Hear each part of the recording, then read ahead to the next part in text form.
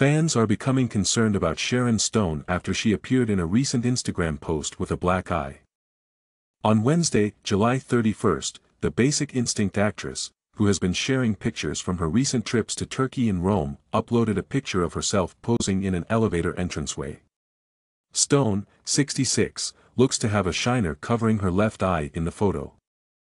Stone commented on the photo, saying, This trip has been tough, but I'm tougher, without going into additional detail about the apparent injury. She posted the same caption picture to Instagram stories as well. Oh Lord! To see the other guy, I detest. I hope all is okay with you, a follower wrote. I hope you can recover soon, wrote another. Stone revealed that she was in Turkey on Wednesday by posting a picture of her own hotel room yard, which had a swimming pool. She captioned the photo, saying, if anyone is considering Turkey for a vodka this is the backyard of my hotel room. Stone may be seen posing in Rome and the Vatican in previous Instagram images. The casino actress captioned a picture of herself and her 19-year-old son Laird, saying, walking in the streets of Rome W my son before he leaves for pre-med school. Stone has three adoptive sons, Quinn, age 18, Laird, and Roan, age 24. When Stone used Instagram to reenact her most famous movie scene, it garnered media attention in July.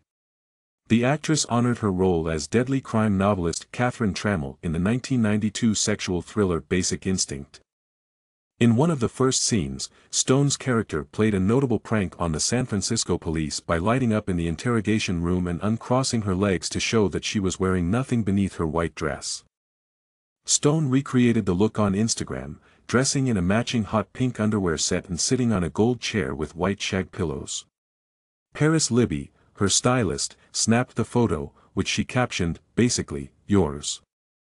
When Stone hosted the show in 1992, the writers of Saturday Night Live experimented with using Stone as a sex icon, but the original scene solidified that status.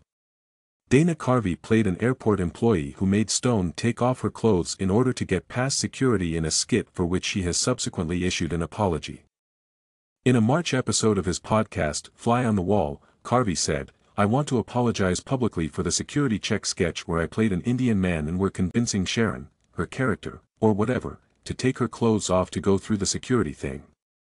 I am aware of the distinctions between felonies and misdemeanors. Stone, a podcast guest, said, and I think that we were all committing misdemeanors, back then, because we didn't think there was something wrong then. This sense wasn't there for us. I found that amusing, so I didn't mind. I didn't mind being the jokes but,